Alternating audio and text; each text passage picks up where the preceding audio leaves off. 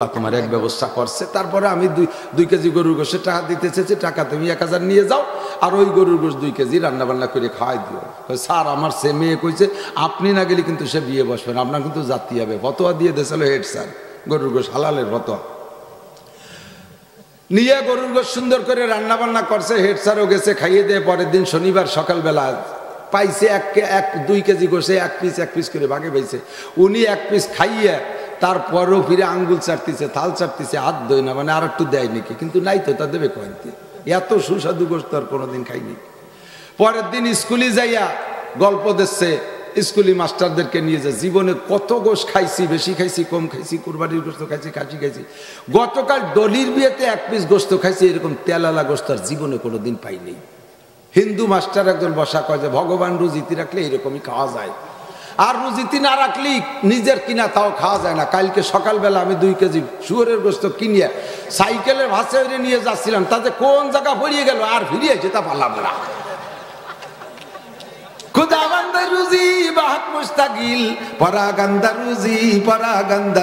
এই জন্য আল্লাহর কাছে তিনটে জিনিসের সাথে মনে আছে? এক নম্বরে সুস্থতা এক নম্বরে সুস্থতা, দুই ইজ্জাত, সম্মান, তিন নম্বরে প্রশস্ত হালাল রুজি। রুজি তবে হারাম দিয়ে যেন না খাই।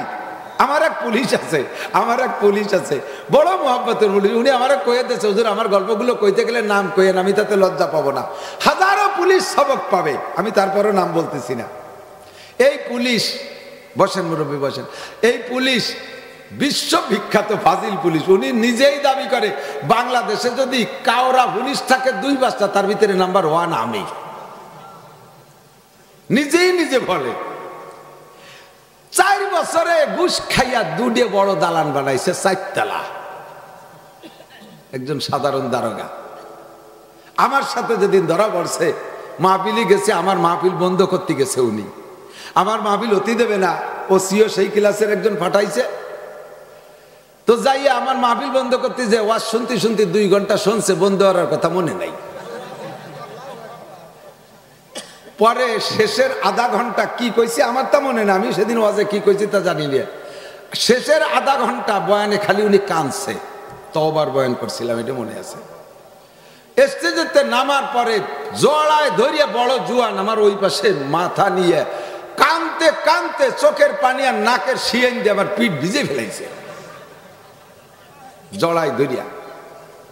সামনের পর সমস্ত সব পুলিশ গেছে, যে জায়গা মূল তবা সেটা তো সে জানে যে কোন কোন জায়গা আসল তবা সেই সেই জায়গা করছে। ফার্স্টের তবা হবে সিগারেটের উপরে। এক প্যাকেট ব্যানসন সিগারেটের মূল আইয়ে ভাঙ্গিয়ে জুতোর তলে দিয়ে ফেসে দিয়েছে আমি খাব না কেউ খাতিও দেবো না। সেই থেকে আর খাই না। এক তো তাহাজুত কাজা নাই বর্তমানে আল্লাহর বান্দার কত সুবহান আল্লাহ এবং যে ফাঁড়িতে যে থানায় তার ডিউটি হয় মানে পোস্টিং হয়, ওই থানার বাকি পুলিশদেরকে নামাজি বানানোর জন্য একশো পার্সেন্ট চেষ্টা করে। ওই থানায় যদি বেপর্দা মহিলা পুলিশ থাকে, তাকে বোরকা পরানোর জন্য ব্যবস্থা করে। এমন মোবাইল লেগ হয়ে গেছে, আলহামদুলিল্লাহ। উনি আমারে বলেন যে, হুজুর, যখন এই মোটা টাকা খাইতাম, টাকা কামাই করে নে, রাত্রে আর ঘুম হতো না। কোনো মতে সেলেসা শুরু হয়ে গেছে, কোনো মতে রাতটা কাটাইছি। সকালবেলা উঠে তিন চারটে পত্রিকা কিনতাম যে আল্লাহ, রাত্রে ঘুম না হওয়ার কারণ হলো খালি ফোনের দিক খেয়াল রাখতাম যে কোন বড় অফিসার ফোন দেয় যে এই টাকা খাইলিতে বাগ দিলি না কে অমুক থেকে কয় টাকা দিচ্ছি এই ভয়তে রাতটা ঘুম হতো না। সকালবেলা উঠে তিন চারটে পত্রিকা কিনে ভরতাম যে আল্লাহ, আমার নাম কোন লাইনে আইছে দিয়ে নেই। যে অমুক জায়গায় তো অমুক পুলিশ ঘুষ খাইছে। এই চিনতে দিন, রাত সব সময় চলে যেত, আমার ঘুমই হতো না। যেদিন থেকে তবা করছি ঈশান নামাজের পরে আমার ঘুম চলে আসে। রাত্রে ডিউটি না থাকলে অনায়াসে আমার ঘুম চলে আসে। আর টাইম মতো রাত তিনটায় আর আমার বিছানে পিঠ দিতে মনে চায় না। আমার মনে হয় যেন কে আমারে ডাকে, আলা মুস্তাক ফিরিন ফাক ফিরালা আয়, সারা জীবন গুণা করেছিস, আমি তোরে ক্ষমা করার জন্য খাতা কলম নিয়ে আসছি। উঠে আয় আয় বান্দা, উঠে আয়। আর আমার বিছানে মন টেকে না। আলা মুস্তার জিকিন ফা আর জোকা কে আসিস রিজিকের অভাবই চলে আয়, আমি তোরে রিজিক দেব। মনে হয় যেন কে আমারে ডাকে। আওয়াজটা আমার কানে টন টন করে ভাসে। এমন করে আমারে ডাকতে তালে থাকে। আমি এইভাবে আল্লাহর রহমতে একটা অক্ত নামাজ আমার কাজা নাই, একটা রায়ত আমার তাহাজ্জুদ কাজা নাই। ওগো আল্লাহর, আল্লাহ পাক রব্বুল আলমিনের কাছে উনি দোয়া করে রব্বুল আলমিন, আমার এখন তো তওবা করেছি, বিগত যে গুনাহ করেছি, সেগুলা কি হবে? আমার কাছে জিজ্ঞেস করে, হুজুর ঘুষ তো খাইছি, মোটা টাকায়, খাইয়ে দিয়ে দালান দুটি বানাইছি, এ কি হবে কান্দি দিয়ে? দালানের কি হবে? আমি কই যে, ওই যে তুমি যার টাকা তারা ফেরত দিতে ওকে খাইছি তো সারা বাংলাদেশের বিভিন্ন থানাতে এত মানুষ তো মনে রাখতে পারিনি কি এর বোকান দিদি? আমি ওকে দালান দুটি মাদ্রাসায় দিয়ে দাও, দুটি দালান, দুটি মাদ্রাসা বানাও, ওতে যা নে কি হবে জাগে জাগে টাকা তাকে নেকি। এই নিয়ে তুমি কোনো নেকির নিয়তি করবা না। তোমার যদি দুই চারটে হালাল থাকে, তাহলে তুমি পাবা, আর জাগে টাকার দালান, তার নেকি তারা পাবে। কথা কন না কেন? এইভাবে উনি প্রতিজ্ঞা করে দুটিই মাদ্রাসায় দিয়ে দিচ্ছে বিল্ডিং আল্লাহু আকবার তাইবু মিনাজ জামবে কামাল্লা জামবালা। গুনাহ থেকে তওবা করলে আল্লাহ পাক ওই ব্যক্তিকে কেমন যেন গুনাহ নাই বলে সাব্যস্ত করে। বলতে চাইছি, এক নম্বরে সুস্থতা, দুই নম্বরে ইজ্জত, তিন নম্বরে হালাল রুজি, হারাম রুজির কোনো দাম নাই। টাকা, কোটি কোটি টাকা হইল, তার মধ্যে আরাম নাই, হারামে আরাম নাই। কতক্ষণ হারামে আরাম নাই। তাৎক্ষণিক খাইতে ভালো লাগল, তার পিছনে কিন্তু বিপদ আছে, পিছনে বিপদ আছে। এক স্কুলের মাস্টার এক স্কুলের হেডমাস্টারের একটা বিবাহ গল্প শোনাই, একটা মেয়ের বিবাহের গল্প। ওই স্কুলে এই নাইনে পড়া একটা মাইয়া, হাই স্কুলে পড়ে নাইনে। মেয়েটা জেএসসিতে গোল্ডেন এ প্লাস এ পিএসসিতে গোল্ড এ প্লাস এই মেয়েটা এসএসসিতে ওই স্কুলে সবচাইতে ভালো রেজাল্ট করবে। কিন্তু মেয়েটা বড় নিতান্ত গরিবের মাইয়া। আয় বেশি বেশি, এদিকে আসেন। বেশিরভাগ গরিবের মাই, ছেলে মেয়েরাই তো মেধাবী ভালো হয় কতক্ষণ না কেন? বড় লোকেরগুলো ভালো, খুব কমই হয়। বিভিন্ন জায়গায় প্রাইভেট পড়াতি পড়াতি গাউই গুতো যেটুকু হয় আর কি। গরিবের গুরু আল্লাহর হস্তে ভালো হয়। তো এই মেয়েটা বড় বড় মেধাবী। মেয়েটা নাইনি পড়তেছে, ওর মেট্রিকে গেলে স্কুলের নাম হবে ওর দ্বারা। হঠাৎ করে ওর ভ্যান চালাই নিয়ে গরিব বাপ ওর বিবাহর ব্যবস্থা করে ফেলাইছে। এখন মেয়েটারে ডেকে বলতেছে, মা ওত বলা যায় না। তুই হাই স্কুলে হাই স্কুলে পড়তেছিস, বৃত্তির টাকায় পড়তেছিস কলেজে গেলি তো জায়গা দেবে না। তোর মতো মেধাবী মেয়ে বহুত আছে। আমি একটা মেয়ে একটা তো একটা ছেলে ঠিক করছি, তুই রাজি হ, তোর বিয়েটা আমি দিয়ে যাই। বাপের এই করুণ কথা শুনে মেয়েটা রাজি হয়ে গেছে, বিয়ে বিয়ের সাথে ঠিক হয়ে গেছে। এখন গরিব বাপ, বরযাত্রী খাবে, চারশো পাঁচশো খাওয়ানোর তো ক্ষমতা নাই। ওই রায়বারে কইছে, মোটে পাঁচজন মানুষ আসবা, আমি যা পারি তাই মেহমানদারি করব। এই পাঁচজনের মেহমানদারি করার টাকাও নাই। এখন ওই মেয়েটা স্কুলে যাইয়া ওর স্যার, হেড স্যার ডাইকে লাইব্রেরিতে যে বলতেছে, স্যার আমি রাজি না, আমি তো পড়ালেখার প্রতি আগ্রহী। আমার গরিব বাপ আমার জন্য বিবাহ ঠিক করে বেলাইছে এখন পাঁচজন মেহমান আসবে, স্যার, শুক্রবারে বিয়া। আপনি অবশ্যই যাবেন, আমার তো উচিত সব স্যারদেরকে দাওয়াত দেবো, সব ছাত্র ভাই বোনকে দাওয়াত দেবো, কিন্তু সে তৌফিক আমার নাই। আর যদি পারেন, স্যার, আমার আব্বার জন্য একটু, আমার জন্য বিবাহ উপলক্ষে একটু সহযোগিতা ছাত্রছাত্রীদের কাছ থেকে। তো হেড স্যারের তার এই করুণ কথা শুনে অনুমতি দিয়েও দিয়েছে আর কালেকশন তাৎক্ষণিক একটা করে দিয়ে বলতেছে, তোর আব্বারে শুক্রবারে সকালে আমার বাড়ি আসতে কই ভোরবেলা, আমি দুই কেজি গরুর গোশের টাকা দিয়ে দেব। দুই কেজি গরুর গোশ লাগবে তো পাঁচজন মানুষ, দুই কেজি গরুর গোশের টাকা দিয়ে সব কিছু রেডি করে ওর বাপরে যে বলছে, হেড স্যার সকালবেলা, ভোরবেলা গেলে শীতকালে কুয়াশার ভোর গেলে দুই কেজি গরুর গোশের টাকা দেবে। এই মেয়ের বাপ ভোরবেলা পায়ে হেঁটে পায়ে হেঁটে গুড়ি পায়ে গুড়ি পায়ে হেড স্যারের বাড়ির দিক যাইতেছে। কুয়াশার আকাশ রাস্তায় পাঁচ হাত দূরে কিছু দেখা যায় না। হঠাৎ করে পায়ে একটা টুপলা বাঁধে গেছে পলিথিন। ওইটির দিক তাকায় দেখে যে গরুর গোশ দুই কেজি ওর মধ্যে। এখন চিন্তা করতেছে যে আমি গরিব মানুষ, আল্লাহ হয়তো এক ব্যবস্থায় ফাটায়ও দিতে পারে, কোয়া যায় না। রাস্তাঘাটে তো কিছু দেখলাম না, যদি ফেলায় যাই তাহলে তো সেই কুশিয়াল কুত্তই খাই ফেলতে পারে। ওর সে নিয়েই যাই যাই, হেড স্যারের কাছে মশলা শুনে নেবানি গোস্ত টুল্লা নিয়ে যাই হেড স্যারের কাছে জিজ্ঞেস করছে, স্যার গোস্ত তো দুই কেজি পাইছেন কি? কি এর বোকান্দি দেই? তো হেড স্যার করে যে, আল্লাহ, তুমি গরিব মানুষ তো, আল্লাহ তোমার এক ব্যবস্থা করছে। তারপরে আমি দুই দুই কেজি গরুর গোষ্ঠের টাকা দিতে চেয়েছি, টাকা তুমি এক হাজার নিয়ে যাও, আর ওই গরুর গোশ দুই কেজি রান্নাবান্না করে খাওয়াই দিও। স্যার, আমার সে মেয়ে কইছে, আপনি না গেলে কিন্তু সে বিয়ে বসবেন আপনার কিন্তু জাতি হবে। ফতোয়া দিয়ে দিয়েছিল হেড স্যার, গরুর গোশ হালালের ফতোয়া। নিয়ে গরুর গোশ সুন্দর করে রান্না বান্না করছে, হেড স্যারও গেছে, খাইয়ে দিয়ে পরের দিন শনিবার সকালবেলা পাইছে এক এক, দুই কেজি গোসে এক পিস এক পিস করে ভাগে পাইছে। উনি এক পিস খাইয়ে তারপরও ফিরে আঙ্গুল চাটতেছে, থাল চাটতেছে, হাত ধোয় না মানে আর একটু দেয় নাকি? কিন্তু নাই তো, তা দেবে কয়েনতে এত সুস্বাদু গোস্ত আর কোনোদিন খাইনি। পরের দিন স্কুলে যাইয়া গল্প দিচ্ছে স্কুলি মাস্টারদেরকে নিয়ে যে জীবনে কত গোশ খাইছি, বেশি খাইছি, কম খাইছি, কুরবানির গোস্ত খাইছি, খাসি খাইছি। গতকাল ডলির বিয়েতে এক পিস গোস্ত খাইছি, এরকম তেলালা গোস্ত আর জীবনে কোনো দিন পাইনি হিন্দু মাস্টার একজন বসা কয় যে, ভগবান রুজিতি রাখলে এরকমই খাওয়া যায়। আর রুজিতি না রাখলেই নিজের কিনা তাও খাওয়া যায় না। কালকে সকালবেলা আমি দুই কেজি শুয়োরের গোস্ত কিনিয়ে সাইকেলের ভাসে নিয়ে যাচ্ছিলাম। তাতে কোন জায়গা ভরিয়ে গেল? আর ফিরিয়ে যেতে পারলাম না।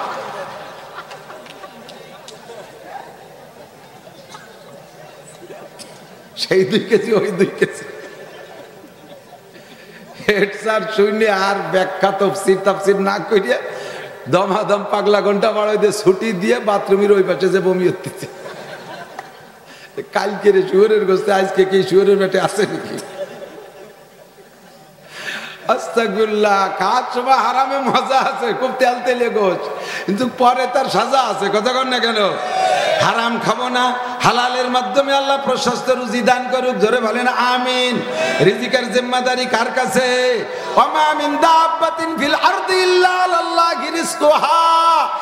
জমিনের মধ্যে যত প্রাণী আছে, সকলের রিজিকের জিম্মাদারি কার হাতে?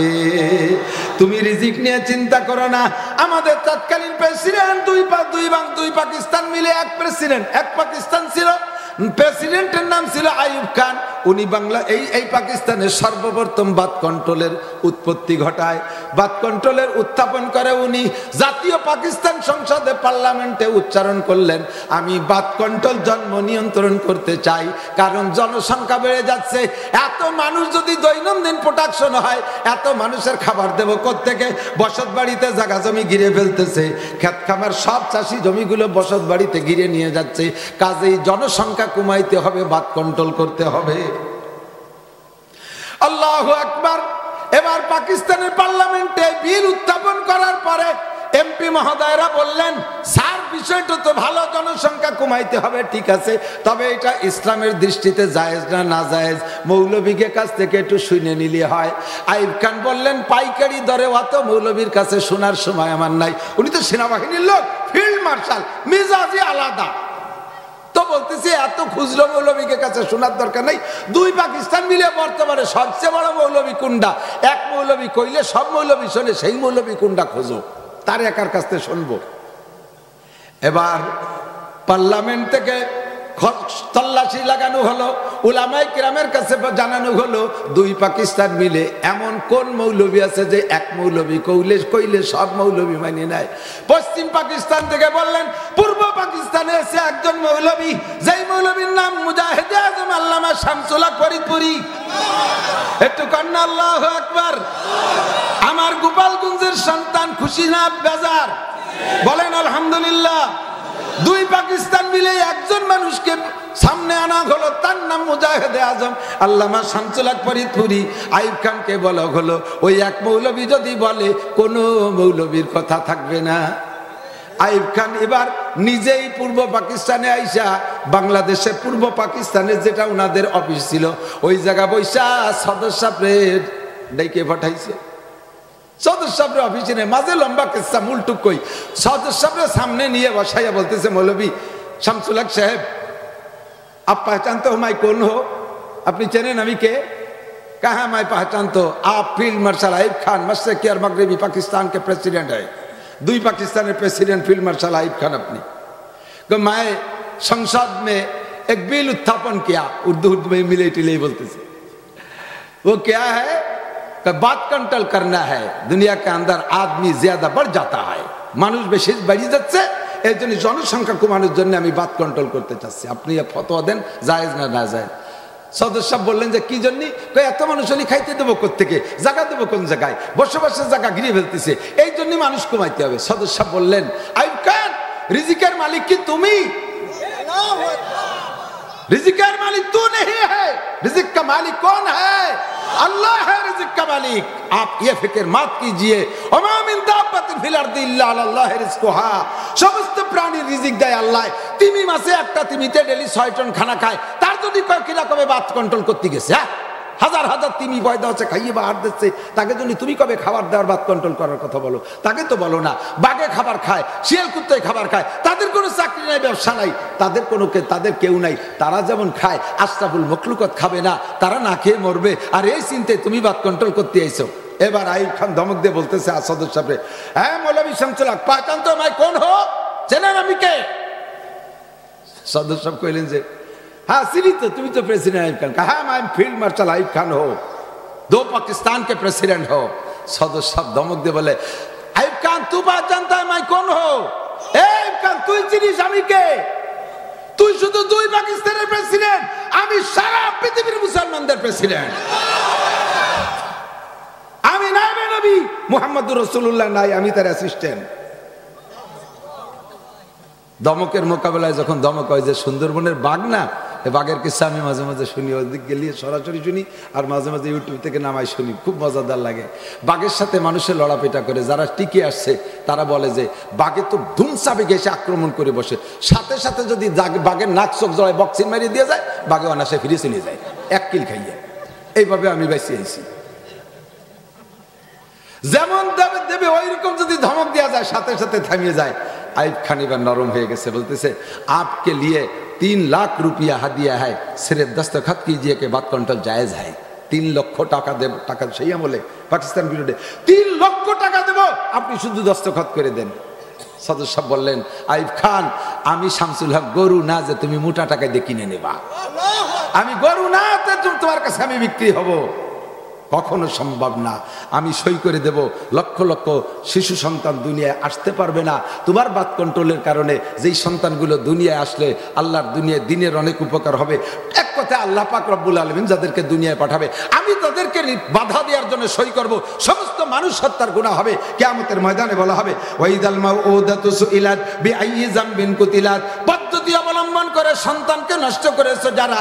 বিশেষ করে বাচ্চা পেটে আসার পরে, বাচ্চা পেটে আসার পরে বিভিন্নভাবে নষ্ট করে দাও, ওয়াশ করে নষ্ট করে দাও, বা তারপরে ঔষধ খেয়ে ফেলাইয়া দাও। এই সমস্ত সন্তানগুলো কেয়ামতের ময়দানে আল্লাহ পাকের কাছে মামলা দায়ের করবে।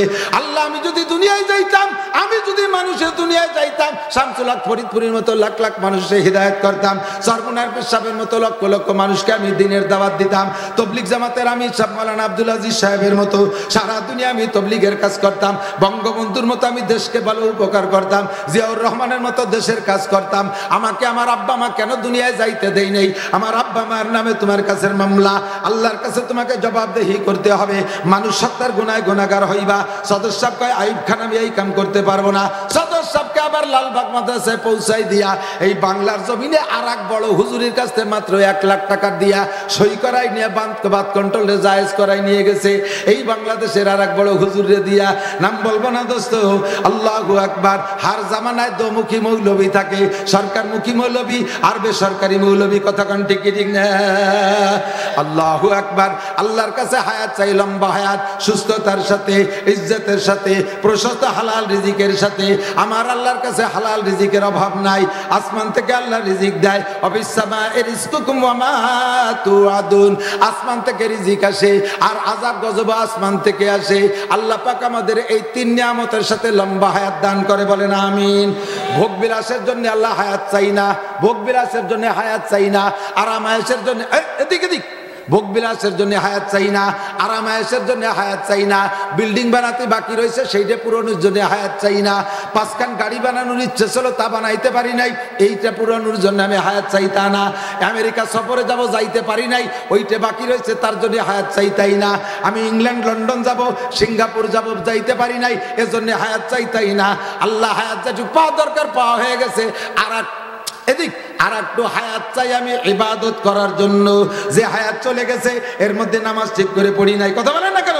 এর মধ্যে রোজা ঠিক করে রাখি নাই, হজটা ফরজ হয়েছে, করতে পারি নাই জাকাত ফরজ হয়েছে, দিতে পারি নাই, দাড়ি গজাইছে কবে তা কাইটে ফেলি, রাখতে পারি নাই। আমি এই দাড়ি চেঁচা মুখ নিয়ে আল্লাহর সামনে কীভাবে যাব? নবী পাকের সামনে কীভাবে হাউজে কাউসার পান করতে যাব? সুন্নতি পোশাকের অনুসরণ করতে পারি নাই। মাথার মধ্যে এখনও মেসি মার্কা চুল রইছে, নেইমার মার্কা চুল রইছে, ব্রাজিল আর আর্জেন্টিনা মার্কা চুল রয়েছে শরীরের ভিতরে রয়েছে নায়ক নায়িকার পোশাক। এই অবস্থায় যদি আমি আমার মরি, তাহলে আমার খবর আছে। আমি উলামাইকরামের কাছ থেকে শুনেছি তামুতু না কামা তাহায়াউন অত সারু না কামা তামুতুন। যেমন হবে তোমার জীবন যাপন হ্যাঁ যুবক আমার দিক থাকা যেমন হবে তোমার জীবন যাপন, মরণ হবে তোমার তেমন, আর মরণ হবে তোমার যেমন হাসরও হবে তোমার তেমন। দাড়ি নিয়ে জীবন যাপন, দাড়ি নিয়ে মরবা পুরুষ হইলে দাড়ি নিয়ে জীবন যাপন, দাড়ি নিয়ে মারবা। কেমতের ময়দানে আল্লাহ পাকরবুল আলমিন মোমেন মুসলমানের মুখে যদি দাড়ি থাকে, আমার বিশ্বাস আল্লাহ তারে জাহান নামে দেবে না। একটা লোক হাদিসের মধ্যে আসছে পরিষ্কার। একটা লোক মানুষকে তো ডেকে ডেকে আল্লাহ তালা জিজ্ঞেস করতেছে আমল নামা একটা লোকরে ডাকছে, ডাইকে, ওর আমল নামা খুলেও আর ফেরেস্তারাও জানে, আল্লাহও জানে, দেখে যে কিচ্ছু নাই। তারপরে ওরে যে ফড়াচ্ছে যে আমি যদি দৈরি ওরে দোজকে দেই, তাহলে ও আবার অভিযোগ থাকতে পারে যে আমি এত ভালো মানুষ ছিলাম। যদিও জীবনে করে দিন নামাজ পড়িনি, হয়তো জেনা একটু বেশি করছি, মদ গাজা খাচ্ছি তবুও ভালো মানুষ ছিলাম। হয়তো টনমন একটু মারছি, জুলুম অত্যাচার করছি, তবুও ভালো মানুষ ছিলাম। আমার দৈরি এভাবে বেসতে দোজকে দিল, আল্লাহ এইরকম জুলুম করল। এই জন্য ওর দোষ খাতা ভালোরে বুঝোই দেওয়া দরকার। বুঝোই দেওয়ার জন্য ওর ইকরা কিতাব আঘাত তোর আমল নামাতে ভরিয়ে দেখ। ওরে ভর্তি করলি ওর এবার কাকা বিয়ে গেছে আল্লাহ ও ভরিয়ে লাভ নাই, ওর মধ্যে কিচ্ছু নাই। বেসতে জাতি নেকি লাগে দোজকে জাতি গুণা লাগে। তো তো গুনায় সব বড়া নেকি তো একটা নেই, যা দোজকে যা। দেশে আটা, এর মধ্যে নবিয়া পাক সাল্লাম উম্মতরে সুপারিশ করে করে জান্নাতে দিচ্ছেন। এই লোকটারে ডাইরেক্ট জাহান নামের হুকুম দিলে নবী আলিহি সাল্লাম আল্লাহ পাকের বাম পাশে বৈশা মনটা খুব খারাপ। যেই লোকটারে বললে, আর, একটু দেরি করা লাগল না, দূরেই নিয়ে যাচ্ছে ফেরেস্তারা হঠাৎ করে চেহারার দিক তাকায় দেখে মুখে সুন্দর দাড়ি। এই লোক নামাজ নাই, রোজা নাই, হজ নাই জাকাত নাই, ফরজ নাই অজিব নাই, সুন্নত নাই মুস্তাহাব নাই, কোন তার খবর নাই। যত আকাম কুকাম সব করছে, লাস্টে দুর্গা পূজায় যে হিন্দু বাড়িতে শুয়ারের বস্তার নাড়ু খাইয়েছে এরপর হয়েছে তার মরণ। তিনি এর কি দিয়ে বাঁচানো যায়? এ কি দাড়ি রাখছে? এ কি শূন্যতে মোহাম্মতে দাড়ি রাখছে? সব কিছুর সাথে সাথে আন্তর্জাতিক খ্যাতি সম্পন্ন কিরপিন। দাড়ি কাটতে পয়সা লাগে, সেই বইতে কাটিয়ে রয়ে গেছে।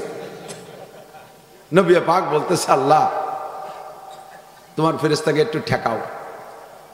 আল্লাহ কইছে হ্যাঁ ফেরেস্তারা দাঁড়া। ফেরেস্তারা দাঁড়ানোর পরে বলতেছে, আল্লাহ, বান্দা তোমার অন্যায় করছে, তোমার দোজকে দিবা, আমি তো ঠেকাতে পারব না। আমার এখানে আর কোনো অধিকার নাই। তবে আল্লাহ আমার সুন্নাত তোমার বান্দার সাথে জাহান্নামের আগুনের ভিতরে একসাথে জ্বলবে, এইটা কিন্তু আমি সহ্য করতে পারব না। কি সুন্নাত? কয় যে তোমার বান্দার মুখে দেখো আমি নবীর সুন্নতি দাঁড়িয়ে আছে। ওই তারে দাড়ি কটা খুলিয়ে রেখে খালি ওরে বাটায় দাও। দাঁড়িয়ে রেখে দাও। আর নয়, আমার দাবি যে দাড়ি যেন জাহান নামে পড়ে না। আল্লাহ পাক বললেন, দোস্ত, দাড়ি যদি খুলিয়ে রেখে ওরে দোজকে দেয় তাহলে তুমি মিথ্যেবাদী হয়ে যাও। কি কথা? যে তুমি বলেছ, তামুতুন কামা তাহিয়াউন অত সারুনা কামা তামুতুন যে চেহারায় মর জীবন যাপন ওই চেহারায় মরণ আর যে চেহারায় মরণ ওই চেহারায় হাসন নাসর এখন দাড়ি খুলে রাখলে তো তোমার এই কথা হাসন নাসরে তার দাড়িকে আলাদা করে রাখা হয়ে যাচ্ছে, কাজেই তোমাকে মিথ্যেবাদী বানানো যাবে না আর নবী পাক সুযোগ পাইছে। আল্লাহ, তাহলে আমার সুন্নত যেন জাহান্নামের আগুনে না পড়ে। নবী পাক সাল্লামের এই দাবিতে আল্লাহ ফেরেস্তাদেরকে বলবে, ও ফেরেস্তারা আমার দোস্ত সুপারিশ করছে, বাদ্দিল সাইয়াতিহি হাসানাত, ওর সব গুণাগুলোকে এক দাড়ির সিলাই পাল্টাইয়া তারে জান্নাতে দিয়ে দাও। গুনাকে সব পাল্টায়, নেকি বানায় দাও। একটা ওসিলা একটা ওসিলা ও মুসলমান, তোমার সুন্নতের ভিতরে পরিবর্তন করো, তোমার আমলের ভন্দি পরিবর্তন করো, সুন্নতের পর পাবন্দি করো। তাহলে তোমার এই নিয়েতেই আমি একটু হায়াত চাই আল্লাহ, আমি যেন দাড়ি নিয়ে মরতে পারি। আল্লাহ আমার জন্য সুন্নতি দাড়ি নিয়ে মরার তৌফিক দান করে, বলেন আমিন। দাড়ির মশালা আছে, একটু বলে যায়, এদিক থাকেন এদিকে, এদিক থাকেন অনেকে দাড়ি রাখছে একটুক একটুক বগলও যারটুক দাড়িও সেটুক আবার কের বগল এসছে? দাড়ি ছোট। বগল ভালোই বড়, প্রায় তিন, চার মাস কাটে না। আর দাড়ি তো একটু লম্বা হয়ে গেলি বেড়া না পিতরে যাইয়ে খুরুই নিয়েছে এক ফুটের কম দাড়িকে দাড়ি বলে না। চার মাঝাবের, চার ইমামের অনেক মশালার মধ্যে মতানৈক্য আছে। কিন্তু দাড়ির ব্যাপারে চাইরে ইমাম একমত। এক মুটের আগে যদি কোনো ইমাম দাড়ি কাইটে খাটো করে ফেলে, ওই ইমামের পিছনে নামাজ পড়া মাকরুয়ে তাহারিবি। अंग्रेजी कटिंग के चूल कटवाने वाले इमाम के पीछे नमाज मकरूर तहरीमी है इंग्रेजी কাটিং বিদেশিরা ইংরেজরা যে কাটিংই কাটে এখানতে চাইছে ঝুলিয়ে বেলায় দিচ্ছে উপরে সাইডে ঝুটি রাখছে ইমামও যদি এইরকম করে সেই ইমামের পিছনে নামাজ পড়া মাকরুয়ে তাহরিমি ইমাম যদি দাড়িতে কালো কলম লাগায় কালো কলম লাগায় জুয়ান হওয়ার জন্য যুবক থাকার জন্য ওই ইমামের পিছনে নামাজ পড়া মাকরুয়ে তাহরিমি কে বলে কইছে বউ যদি আহ, যুবতী থাইয়ে যায় আর স্বামী যদি বুড়ো হয়ে যায় তালি কালা তা লাগানো যায় তা দাড়ি কালা বানালি কি সব জায়গায় কি শক্তি আসে নাকি? বেশি আর কলাম না। ওই মাঝে মাঝে তো কই যে সে গল্প মনে আছে নাকি? এক বুড়ি কুজো হয়ে গেছে, মাথায় কালি মাখাচ্ছে। জুয়া নেওয়ার জন্য, ইয়াং সাজার জন্য, শেখ সাদির সামনে পড়িয়ে গেছে। তো শেখ সাদি বুড়িরে বলতেছে, এক বুড়ি বসি, রং ঘষি ঘষি, কালো করছিল কেশ। কহিলাম গো বুড়ি মা তোমার বুদ্ধি তো আছে বেশ। পাকা চুল কালো হইবে হয়তো, কালো রং মাখাইলে পুজো পিটতব হবে না সোজা হাজারো মালিশ দিলে। ইয়াং হওয়ার জন্য কালি চুল কালো হবে না তো মাজাও তো সোজা লাগবে। তো চুল না কালি মাহায় কালা বানাবি, মাজা সোজার মানে কোন মলম দিয়ে? চুল কটা, দাড়ি কটা কালা বানাইলে, বিতর্কত যে দুর্বলতা, তা কোন হারবাল খালি ছাড়বে? খালি খালি ভাজলামে বাদ দাও। শরিয়াতের বাহিরে কোনো মশালা নিজে আবিষ্কার করলে তার ইমান নষ্ট হয়ে যাবে। কথা বলেন ঠিক না? আল্লাহ একবার একটু হায়াত চাই আল্লাহর কাছে। সবাই বলেন, আল্লাহ, আমাদেরকে হায়াত দাও। আমার হায়াত দুনিয়া ইল্লা কলিল। এ দুনিয়ার জিন্দেগি অতি সামান্য। আখিরাতের জিন্দেগি হলো আসল হায়াত। আমার বাবারা বলেন, আখিরাতের জিন্দেগি আসল হায়াত। এ দুনিয়ার অল্প একটু হায়াতের মধ্যে ইনকাম করে যাব, খরচ করব আখেরাতে। আরে দুনিয়ায় সামান্য কয় মাস চাকরি করি, ঘরে বসে খরচ করি, ইরির খাতে কালকে পরিশ্রম করি অল্প কয়দিন। সারা বছর ঘরে বসে ইরি খাই, পেঁয়াজের খাতে পরিশ্রম করে কয়দিন। সারা বছর পেঁয়াজতে পেঁয়াজ বেচে টাকা ঘরে বসে খাই। এমন করে ইনকাম করি অল্প সময়, ব্যবহার করি লম্বা সময়, দুনিয়ার অল্প একটু সময় আমি ইবাদত কইরা নেকি কামাই করে যাব। এইটা ব্যবহার করব অনাদি অনন্তকালের মধ্যে। কথা বলেন ঠিক ঠিক না?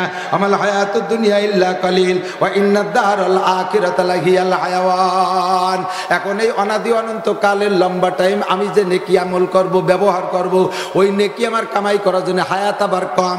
আমার অল্প একটু হায়াত। নবী পাক বলেন, হায়াত উম্মতি বাইনা ডিমাসাবিন আমার উম্মতের হায়াত ষাট থেকে সত্তরের মাঝামাঝি। এই ষাট সত্তরের ভিতরে আমাদের অল্প সময়ের ভিতরে মোটা কামাই করার জন্য নবী সহজ বুদ্ধি দিয়েছেন। একেবারে সহজে ভেসতে যার সহজ বুদ্ধি হাতে দিয়ে দেই। আল আমালু কালিল, ওয়াল আজরু কাসির। আমল করবেন কম, নেকি পাবেন বেশি। কন্যা সুবহান আল্লাহ নামাজ পড়ব এক অক্ত সোয়াব পাবো পাঁচশো সাতাশ অক্তের। কমে গেছে। তা সুবান আল্লাহ কলেন না যে। আগামীকাল সকালবেলা কেন সুবান আল্লাহ বলেন সুহান আলহামদুলিল্লাহ। নামাজ কয়ক্ত এক অক্ত পড়বেন এক অক্ত নেকি পাবেন পাঁচশো সাতাশ অক্তের আল্লাহ তালা পোষায় দিয়েছে আল্লাহ তালা পোষায় দিয়েছে কোন জায়গা পড়লে এই পরিমাণ কি পাবেন? আপনার পাঁচতলা দালানের এসি রুমের মধ্যে, না। বাড়ির পাশের মসজিদটা যদি ভাঙ্গা হয়, চাল দিয়ে পানি পড়ে, নিচে খেজুরির পাটি উই তিতার অর্ধেক খাই ফেলাই দিছে। বেড়া বানাইছেন, পাট খড়ি দিয়ে ভেঙে গেছে, শিয়াল ফিটির দিয়ে দৌড়তে দৌড়তে দৌড়তে বার হয়ে চলে যায়। তবুও আপনার পাঁচতলা এসি আর কন্ডিশন বিল্ডিংয়ের চাইতে আল্লাহর এই ভাঙ্গা ঘরের দাম বেশি। কথা বলেন ঠিক না? এ জায়গায় ইমামের পিছনে জামাতে নামাজ পড়বেন, আর জামাতে কেনই বা পড়বেন না? এদিকে আসেন, আমি মানে অ্যাটাক করি। জামাতে কেন পড়বেন না? আপনার এখানে যারা আছেন, আমি কি ইন্টারভিউ নেব? ইন্টারভিউ নিলে ninety nine percent public fail করবেন, ইনশাআল্লাহ। যারা মাদ্রাসায় পড়েন নাই, কোনোদিন কোনোদিন যারা কমই মাদ্রাসায় পড়েন নাই, তারা সুরো ফাতেহা শুদ্ধ করে পড়তে পারবেন। এ হাজারে হাজারে দুই একজন থাকতে পারে, শতে কোনো পার্সেন্ট পাবো না। আমি ইমামতি করছি কুটিকালেতে একটা দাড়ি জ্বালাইছে, সেই সময় তেমামতি করি। ডাটের ডাটের মুসল্লি, অনেক মশালা জানে, পিরায় মুফতি সাপ, বিড়ি খায়ার মুফতি ফতোয়া সাড়ে একটাতে সুরো ফাতেয়া জিজ্ঞেস করলে গাল এড়ায় যায়। সাতাতে পাঁচশোতে পঁয়ত্রিশটা ভুল। দোয়া কুরুত পড়তে গেলে তাতে ভুল, দোয়া কুরুত পড়তে গেলে তাতে ভুল। আমরা হানাবি মাজাবের মানুষ, আমাদের মাসালাক হলো ইমামের পিছনে যে নামাজ পড়বে, তার ইমামের পিছনে যে ব্যক্তি নামাজ পড়বে, ওই মুসল্লির সুরফ ফাতেও পড়া লাগবে না, কোনো কিরাত পড়া লাগবে না। আর নামাজ ভাঙ্গার কারণ উনিশটে তার ভিতরে এক নম্বর নামাজে অশুদ্ধ পড়া। নামাজে অশুদ্ধ পড়া। অশুদ্ধ পড়লে নামাজ ছুটে যায়। এই কথাটা স্বাভাবিকভাবে বলে গেলে আপনার মাথার মধ্যে ঢুকতেছে না। আমি একটু বাংলায় বলব। কষ্ট হচ্ছে নাকি আপনাদেরকে? যেমন আপনি নামাজের ভিতরে সুরো কাফিরুন পড়ছেন। কি পড়ছেন? সুরো কাফিরুন। কিরম পড়ছেন? পড়া দরকার কেমন আর পড়ছেন কেমন? পড়া দরকার ছিল লা আল্লাহ বলতেছেন, হে নবী, তুমি বলে দাও। হে উম্মত, তুমিও বলে দাও। নামাজের মধ্যে তুমি বলে দাও। হে কাফের সম্প্রদায়, লা আবুদু মা তাবুদুন। তোমরা যার ইবাদত করো, আমরা তার ইবাদত করি না। তুমি যার পূজা করো, আমি তার পূজা করি না। আমি দুর্গা পূজা করি না। সরস্বতী পূজা করি না। কথা বলেন?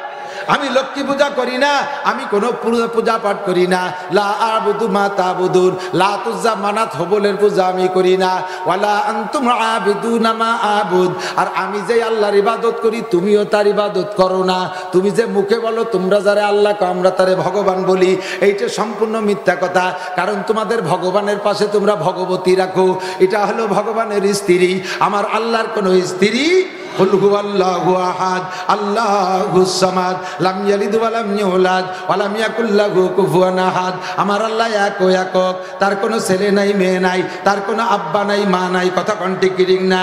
আমার আল্লাহ অমুখাপেক্ষী, আমার আল্লাহর গার রং উঠে যায় না, মাঝে মাঝে রং কার কিবার রং তুলিয়াই না। আমার আল্লাহর গায়ের রং করে দেয়া লাগে না। আমার আল্লাহ বছরের শেষে দুর্বল হয়ে পড়ে যার মতো হয়ে যায় না, যে আল্লাহর পিছন দিয়ে বাঁশ দিয়ে পাশ দো বাঁশ দিয়ে বাঁশ দিয়ে ঠেলেও চড়ে রাখা লাগবে। আমার আল্লাহ কাহারও কাছে ঠেকানা কথা বলেন ঠিক ঠিক না আল্লাহ আকবার।